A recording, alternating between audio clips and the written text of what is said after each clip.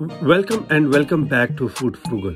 Today we make another crockpot recipe chana masala, chole masala, chickpeas curry. Let's start by making our masala tadka. Heat pan to medium heat. Once hot, add oil. We are using olive oil. Now for the whole spice, khada masala, we took 1 teaspoon cumin seed, jeera, 1 green cardamom, 1 bay leaf tej patta, 2 centimeter cinnamon sticks, 1 red chili, 1 black cardamom, badi ilaichi.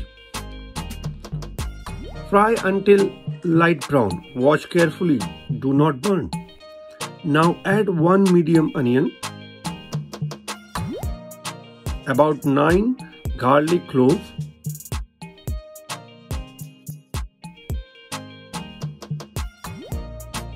one thumb grated ginger.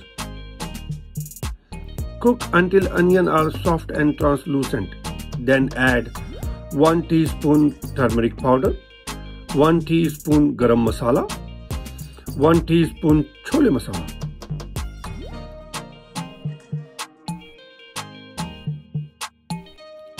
Here I am using dried tamarind and rehydrating with a little bit of hot water. You can use tamarind paste if that is what you have.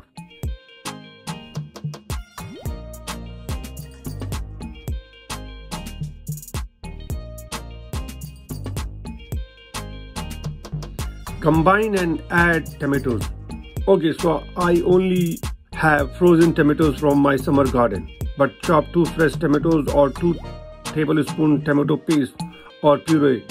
That's work fine. Add little bit water as needed if the masala start sticking to the uh, to the bottom.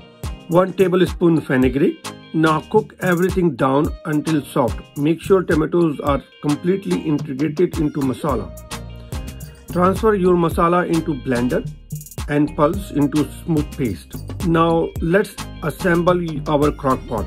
Add your masala paste, 1 can chickpeas 540 gram,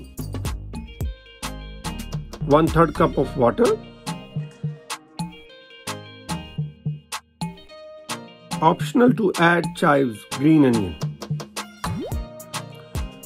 Set your crock pot to high for 2 hours and let it be or you can use a pressure cooker for 3 whistles. In evening your chole is ready to serve with rice or naan. Before serving salt to taste and garnish with coriander.